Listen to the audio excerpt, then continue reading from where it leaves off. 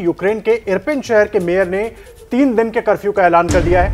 रूसी सेना के हमलों को देखते हुए यह फैसला लिया गया है। ये बड़ी जानकारी इस वक्त हम आपको दे रहे हैं। यूक्रेन के इरपिन शहर के मेयर ने वहाँ पर तीन दिन के कर्फ्यू का ऐलान कर दिया है। तीन दिन का कर्फ्यू वहाँ पर लगा दिया गया है अभी से। और ये इसलिए ये कदम उठाया गया है क्योंकि अंदेशा जताया गया है कि रूस की तरफ़ से बड़ा हमला, बड़ा निशाना इरपिन शहर को बनाया जा सकता है। यूक्रेन के इरपिन शहर के मेयर ने तीन दिन के कर्फ्यू का ऐलान कर दिया है। रूसी सेना के हमलों को देखते हुए यह फैसला लिया गया ये बड़ी जानकारी इस वक्त हम आपको दे रहे हैं। यूक्रेन के इरपिन शहर के मेयर ने वहाँ पर तीन दिन के कर्फ्यू का ऐलान कर दिया है। तीन दिन का कर्फ्यू वहाँ पर लगा दिया गया है अभी से। और ये इसलिए ये कदम उठाया गया है क्योंकि अंदेशा जताया गया है कि रूस की तरफ़ से बड़ा हमला, बड़ा निशाना इरपिन शहर को बनाया जा सकता है।